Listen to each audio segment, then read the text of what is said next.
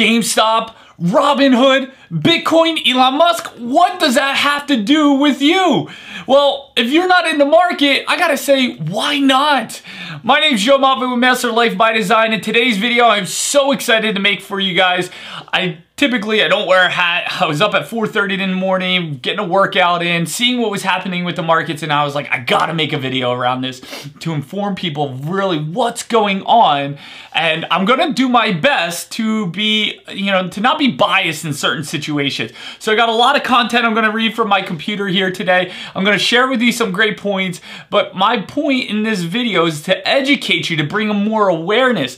And for some of you guys that are investors and you, you're more of an expert even than I am, awesome. I'm actually just, be I'm like a novice in this stuff, but I wanna make sure that I can get this out and you guys can make your own decisions from there. I'll give you some great lessons too.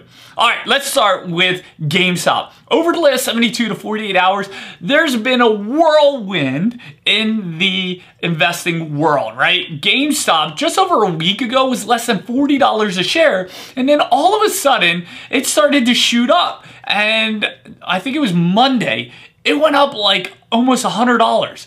And we're like, what is going on? Because GameStop was actually closing many stores and they were looking like they were on the verge of bankruptcy, really. Like they were just holding it together.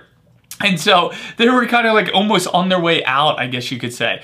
Although that probably wouldn't have happened. but with that being said, I want to share with you, Elizabeth Warren said uh, she blasted the SEC um, saying they should crack down on what's happening in Wall Street, right? And again, I'm going to do my best to, to kind of be unbiased here. Um, but she said that the stock soared over 900% in one week. Now, why is that? Because there was Reddit users that were pumping up this stock, uh, stock, excuse me. And all of a sudden, we had these huge hedge fund that we're actually shorting the stock, right? What shorting is, is it's just, hey, they're betting that the price is gonna drop and they can make money off of that. Some people don't agree with that, but in this play, as these Reddit users were pumping up this stock, and I think it got so inflated that it was in the S&P 500 for a little bit, short period of time. Um, but I'm, I didn't check on that, but please correct me if I'm wrong. So with that, anyway, so this happened, right? And it was crazy. People were pumping up this stock and it was like the little guys versus the big guys and the little guys were winning. Well, you might say, okay, Joe, what's wrong with that? Well, some people say that's stock manipulation and the SEC should have came in and regulated. That's what Elizabeth Warren's saying here, um, that that was absolutely insane. So what's wrong with people making money, right? Like if you weren't in, you didn't see this, you didn't jump in, you missed out on an incredible opportunity. Now I did not jump in. I was just watching it because my money was tied up in other places and I didn't know where it was going, but uh, I also wasn't on Reddit to find out what was truly going on there. And by the time you knew, it was already up to, I think, $337 a share from under 40 and below. I think this time last year, they were like, in the single or single digits, I think. I don't know. Anyway, um, I didn't fact check that, so please forgive me. But with that being said, what happened is these billionaires started losing billions of dollars, right?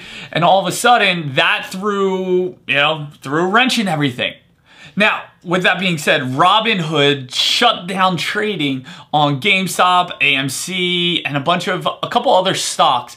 And so while the little people, right, the average Joe, what they were doing was getting pissed, right? Some some people were a little frustrated that they couldn't buy, they couldn't sell. I, I think at one point Robinhood allowed you to sell, but they stopped that platform, and I even think Webull stopped you from being able to do anything for a period of time, right? Because of the volatility and these billionaires were losing money. And then all of a sudden people are now, what they're doing is they're saying, I'm not using Robinhood. And I posted, I choose not to use Robinhood. And so again, I'm gonna remain unbiased, but I have to inject what I did because I wanna be transparent there, right? And what that's doing is, you know, as people were selling and people aren't using the platform, they had to go out and they've raised, they had to get a line of credit from six banks amounting to 500 to 600 million dollars um, to meet higher margins and lending and requirements. So with that being said, a lot of these billionaires invested in Robinhood, gave them, they got equity in the company to keep Robinhood alive. now, you might sit there and say, okay, well, why is that a big deal? Well, a lot of people on one side are saying, you know what, hey, that that's being it's being corrupt, right? That's not being authentic. That's the billionaires, the rich doing what they're doing to manipulate the markets like they've always done. And then on the other side, you got to look at these hedge funds too. And again, this is the unbiased part. These hedge funds, what they're doing is they have pensions for millions of people around the world. Obviously, the people who own it and the higher ups, they're making a ton of money, right? Hundreds of millions of dollars off of these, uh, off of their investors and stuff like that. And so, you, but you got to see, you know, hey, what could people be losing? What impact could that have down the line? And so you got this balancing act where it's like the little people are finally stepping up to those on Wall Street and, you know, they're giving it to them. But then you got to look at, well, these people take care of a lot of the little people. And so where's the harmony, right? Well, here's the thing. Are you taking advantage of it, right? Are you taking advantage of these opportunities?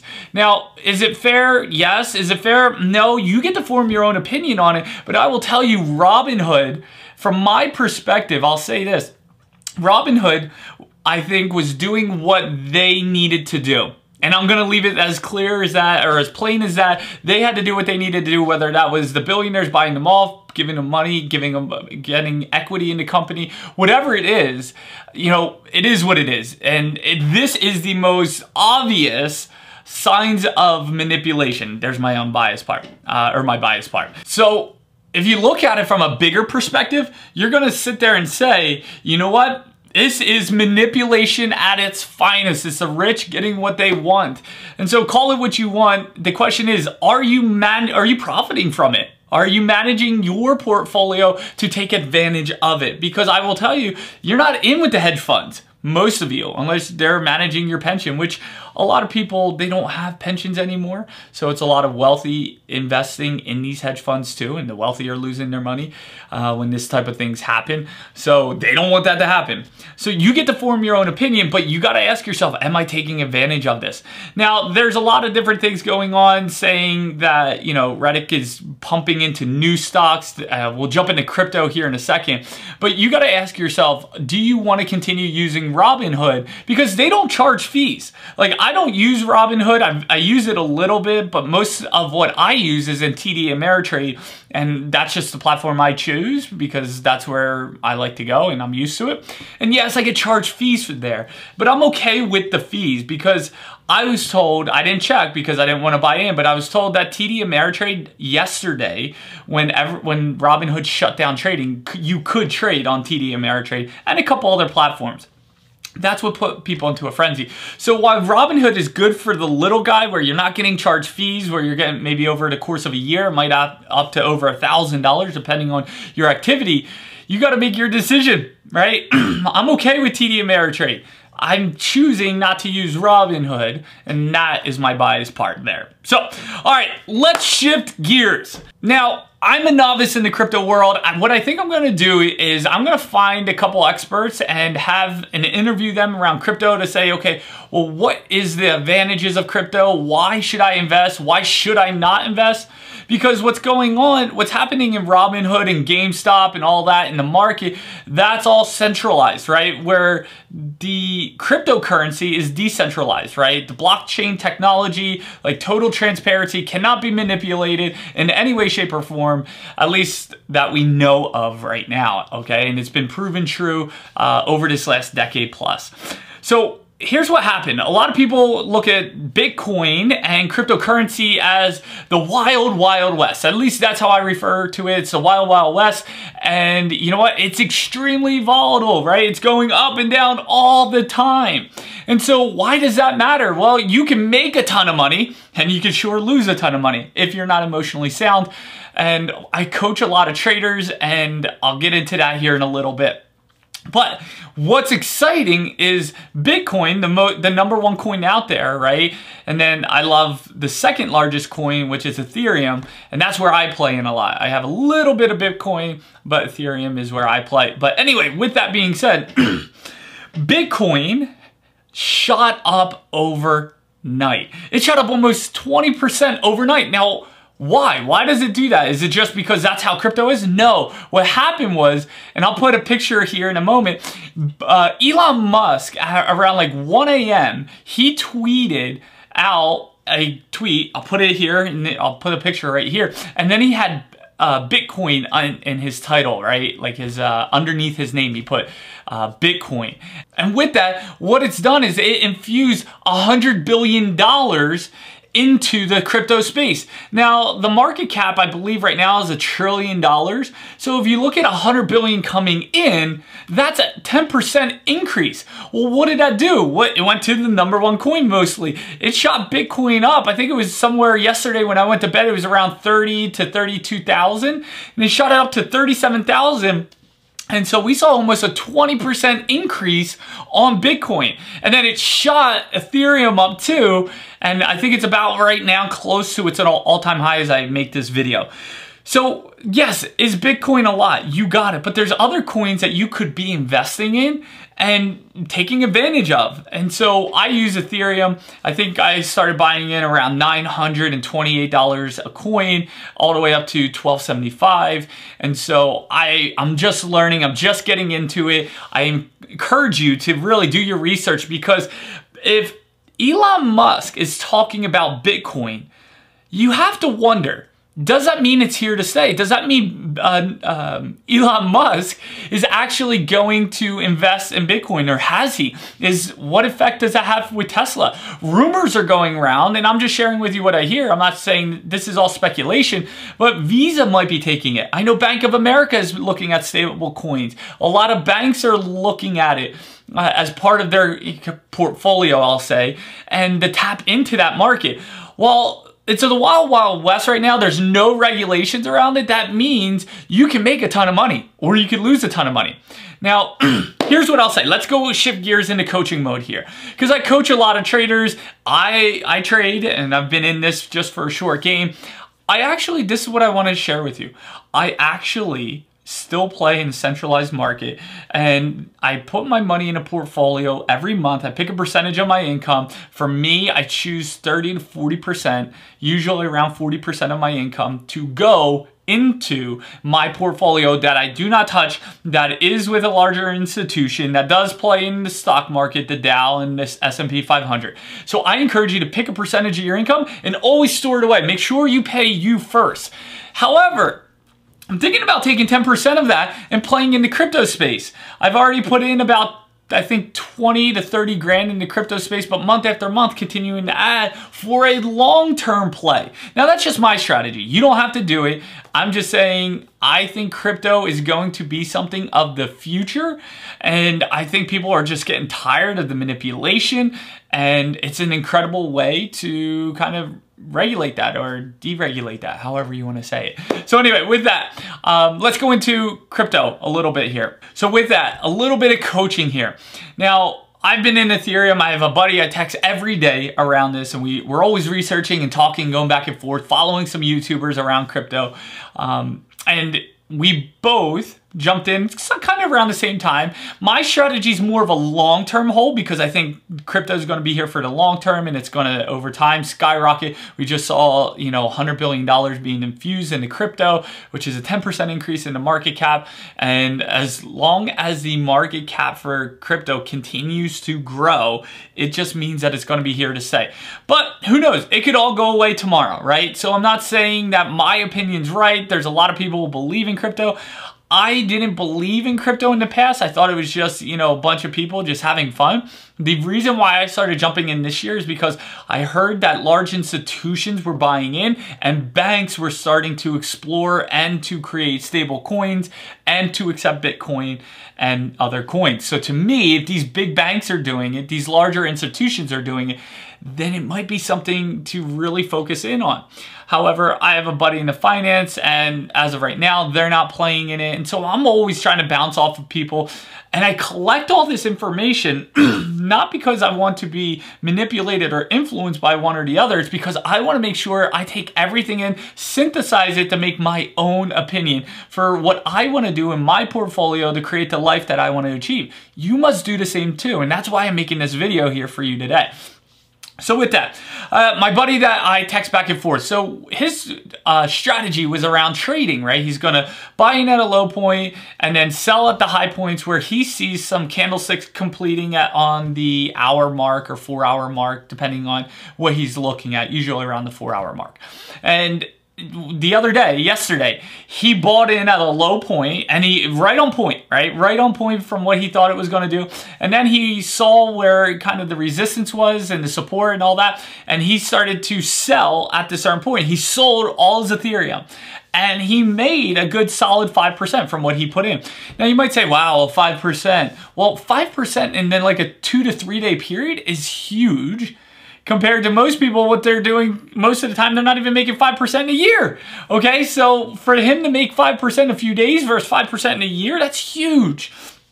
So with that being said, I woke up this morning around 4.30, started working out. I saw what happened on crypto with Elon and I texted him immediately.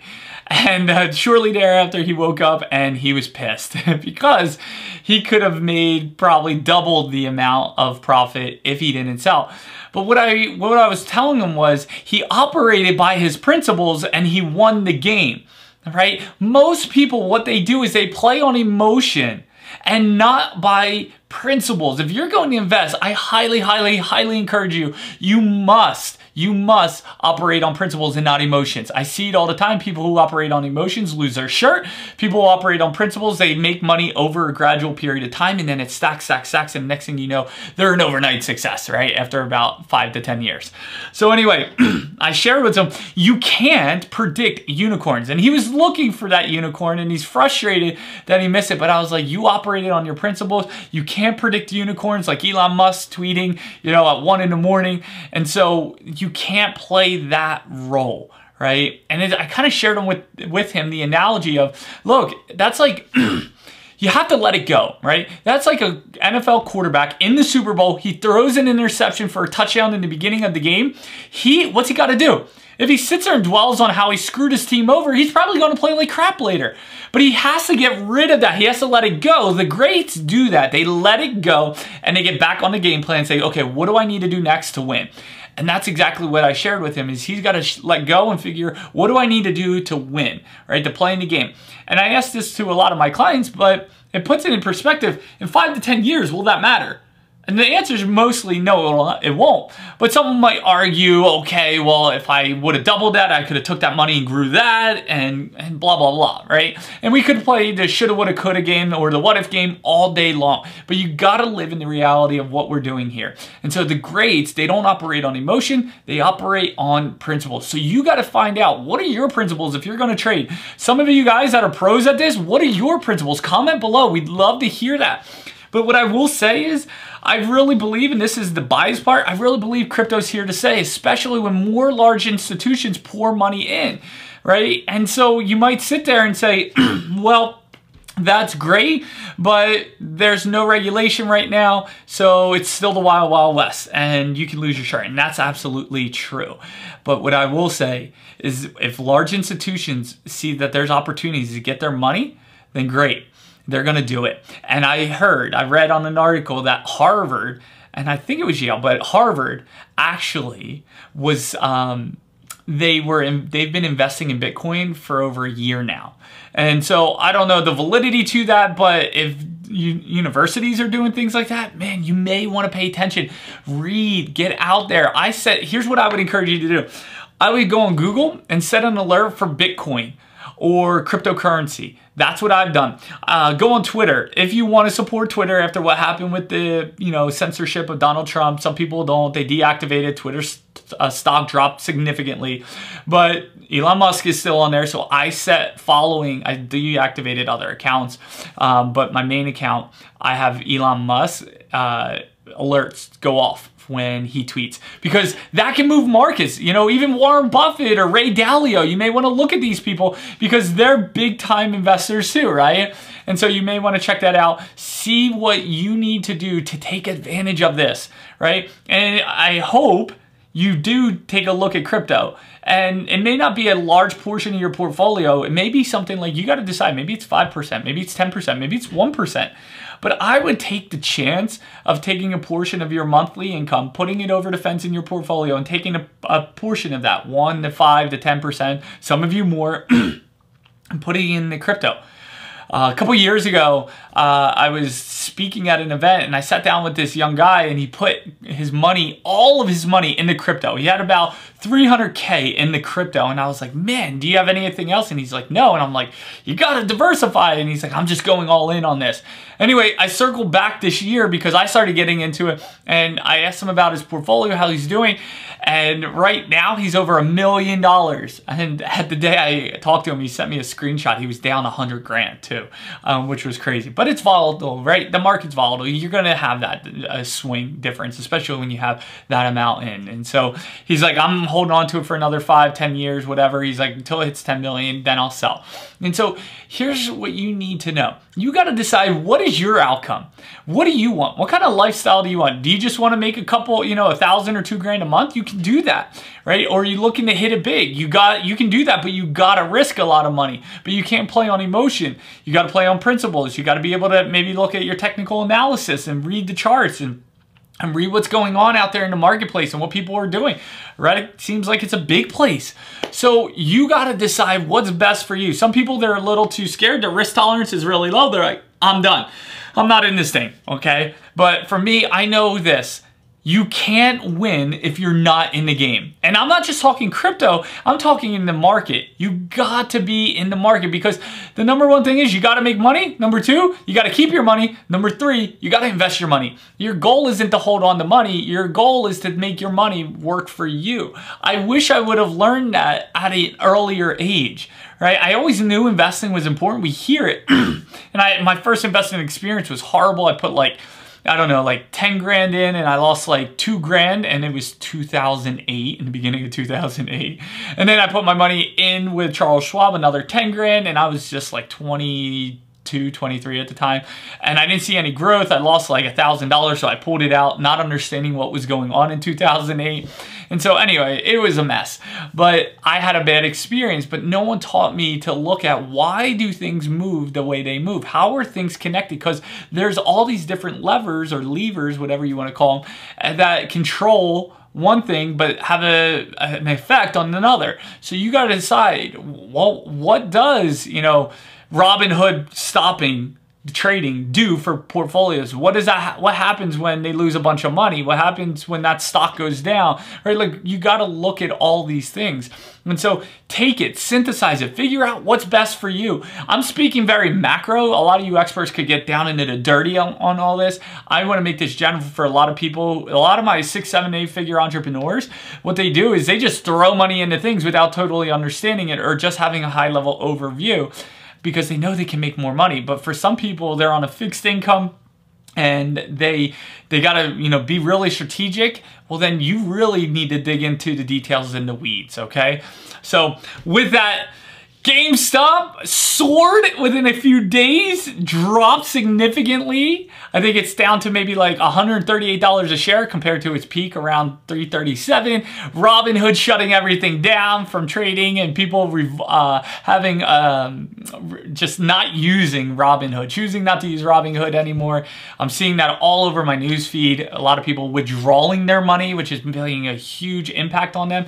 But then you see cryptocurrency shooting to the moon because one man, one tweet or one hashtag within his uh, profile. I mean, it's crazy, but you gotta be in the game. If you're not in the game, you gotta ask yourself, why not? And if your risk tolerance is low and your outcome is, look, I just wanna live a comfortable life, what I'm doing works, awesome. But if you're looking to play at a bigger scale and you want to take advantage of the market, well, you got to understand the game is set up against you. So you may need to chip away at it a little bit at a time and then maybe with some luck or some grace, you'll hit a big on something. But you gotta risk. So don't risk anything you're not willing to lose. So with that, hope that helps. I think I'm to get some of the crypto, um, I'm to get some crypto people, experts in here, people who are making tens of thousands, hundreds of thousands of dollars on uh, crypto. I might even get some people who are, you know, just typical financial advisors come in and talk about both sides, but especially the regulated market out there, the S&P 500 and where it's going and decision Biden's making and all the executive orders and how that's affecting everything. And so we'll have more to come on that. But hey, you know what? If you like this video, give it a thumbs up, hit that subscribe button. We're giving videos three days a week, more to come. I'm gonna be a little bit more professional, not with my backwards hat and recording this video wee early in the morning. So with that, subscribe, share this video if it made an impact for you or if you think someone can use it because, hey, you know what? They, they're not in crypto and they should be in crypto or they're not in the stock market, they should be in the stock market. Remember, play the game for the long term. That's what I do. You can make some short swing trades here and there, make some extra cash, but for the long term, because in five, ten years, it goes by in a blink of an eye, and you're gonna wish that you played in the game. So with that, Joe Mavu, Master Life by Design. See you guys.